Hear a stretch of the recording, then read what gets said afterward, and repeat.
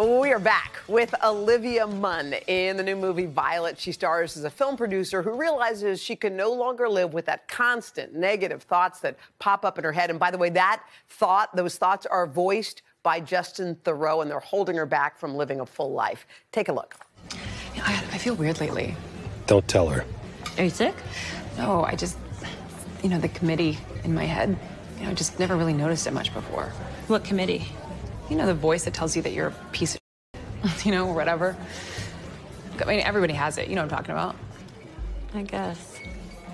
You sound crazy. I don't know. My parents always told me that I was great, and so whenever I have like a bad thought or something, I just it seems like a lie. Are you serious? Yeah, they told me I was great, and I believe them. See, you're a freak. Okay, every every woman watching this, Olivia's nodding her head, going, "I know that feeling. I know that feeling." I can't wait to talk about the movie, but I'm more excited to talk about the fact that you're about to do something for the very first time. You, my darling, are about to become a mom. How do you feel? Um, I I feel I feel good. I feel uh, I feel scared.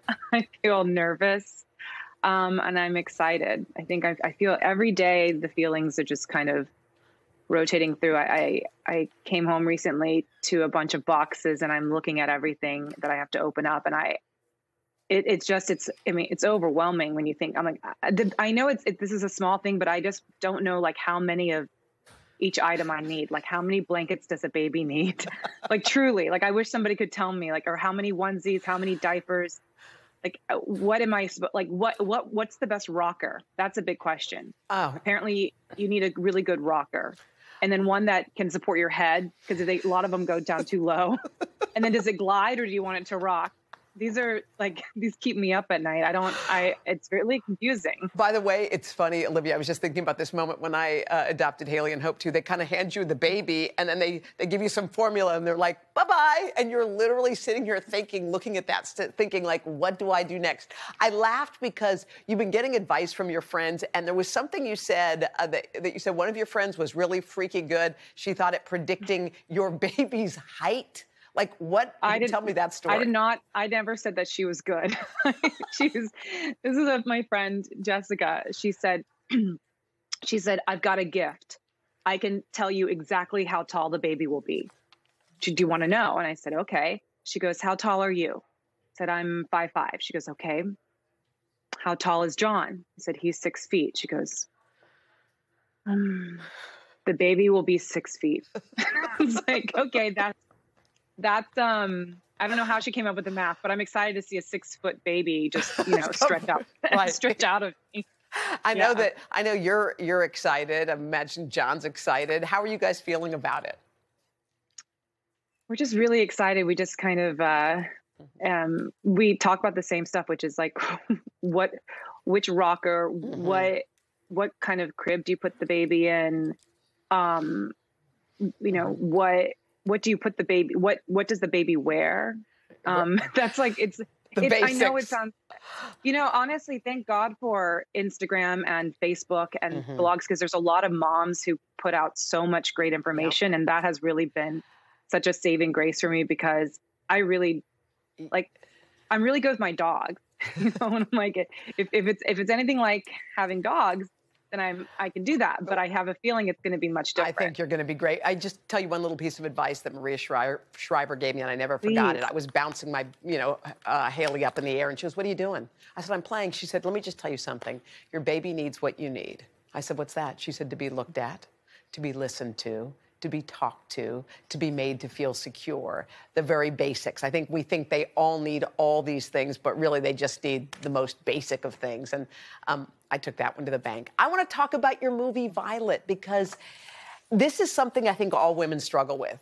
It's like you try to be confident, but there's a loud voice in your head that is just booming. Did you take this role because you thought, like, I get her, I relate to her, I am her?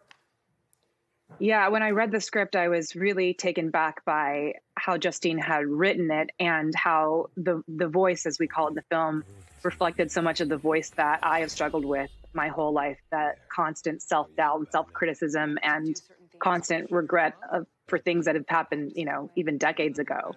So when I read that, I just thought to myself, wow, if, if someone can actually execute this um, the way that it feels in my brain and in my soul, that would be such an amazing thing to be a part of. And Justine is such a vision, you know, um, like that family, the Bateman family, they've got just talent running through them. And uh, it was really such a, a, gift to be able to work with her. Yeah, we did have Justine Bateman on the show, and she was, I mean, she loved you for this role. She said she knew it was for you when she when she wrote this.